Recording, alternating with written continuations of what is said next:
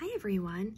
Tonight's bedtime Bible story is about the birth of our King.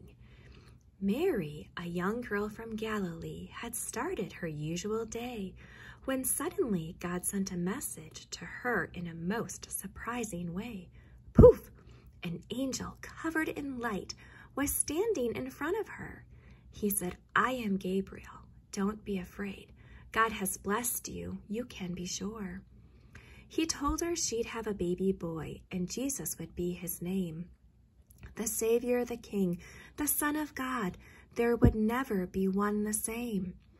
Mary said, I will serve the Lord and do what he asks me to do.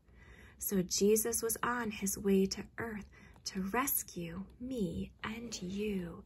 Sweet dreams, everyone. Good night.